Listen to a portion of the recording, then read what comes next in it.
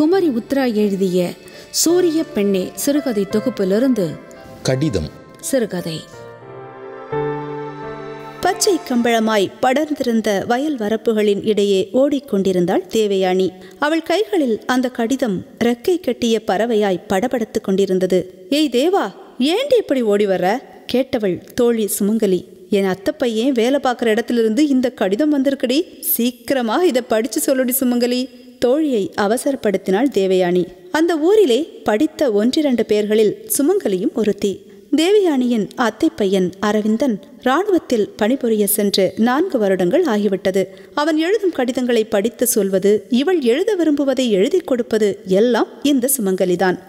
சுமங்கலியின் படிப்பு ஒன்றும் பட்டதாரி படிப்பல்ல வெறும் எட்டாம் வகுப்புதான். தேவயானி நீட்டிய கடிதத்தை வாங்கியவள் நெற்றியை சுருக்கினாள். தந்தியை பிரித்தவள். அதில் அவசரமாய் எழுதியிருந்த ஆங்கில வார்த்தைகளைக் கண்டு குழம்பி போனாள். இருந்தும் யோசிக்க விடாமல் சுமங்கலி சீக்கிரம் நேரத்தை கடத்தாம சொல்லுடி. அப்பாவும் அம்மாவும் அடுத்த வயல நிற்கிறாங்க நான் போய் சொல்லணும். சொல்லுடி. நிலத்தில் கால்களை உதைத்து துள்ளினாள். தேவா உன்னோட அத்தை பையன் அதாண்டி அரவிந்த். நாளைக்கே ஊருக்கு வராராம். அதுதான் அவசரமா தந்தி கொடுத்துருக்கார். என்னடி இனி அவருக்கும் உனக்கும் கெட்டி மிழந்தானா கிராமத்து பாணியில் கேட்டபடி சிரித்தாள். போடி வெட்கத்துடன் மீண்டும் வயல் வரப்புகளில் ஓடினாள் தேவயானி. வயலில் சேற்றுக்குள் நின்று கதிர்களை பார்வையிட்டுக் கொண்டிருந்த சதாசிவம் முன் போய் விழாத குறையாக வந்து நின்றாள். மூச்சு வாங்க நின்றவளை பார்த்தார் சதாசிவம். அப்பா அவர் வரப்போறாராம். அதான்ப்பா அத்தை பையன் நாளைக்கு வராராம். கன்னத்தில் வெட்கம் கோலமிட சொல்லி முடித்தாள். ஓ அதான பார்த்தேன்.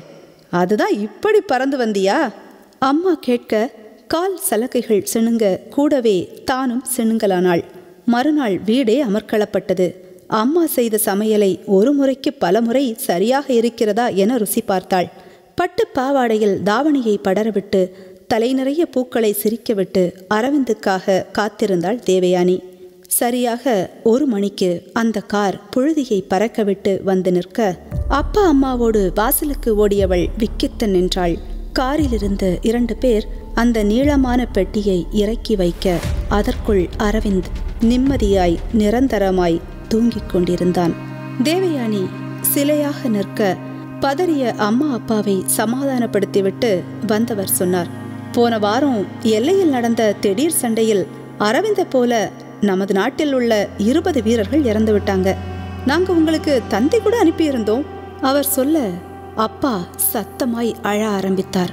அம்மா முகத்தை மூடிக்கொண்டு விம்ம இவள் கண்களில் நிறைந்த நீரோடு சுமங்கலியை வெறித்தாள்.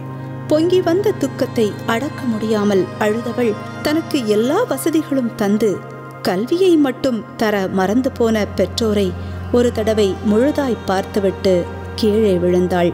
அரவிந்தையே தன் மனதில் சுமந்த அந்த பரிசுத்தமான உயிர் சத்தமில்லாமல் கடிதத்தை விட வேகமாக அவனை தேடி எங்கேயோ சத்தமில்லாமல் பயணித்துக் கொண்டிருந்தது. குமரி உத்ரா எழுதிய சூரிய பெண்ணே சிறுகதை தொகுப்பிலிருந்து கடிதம். சிறுகதை கேட்டீர்கள். வழங்கியவர் ஆர்ஜே சுமிமோள். இதமான கதைகள் கேட்க தாடகை மைந்தர்கள் யூடியூப் சேனலுடன் இணைந்திருங்கள்.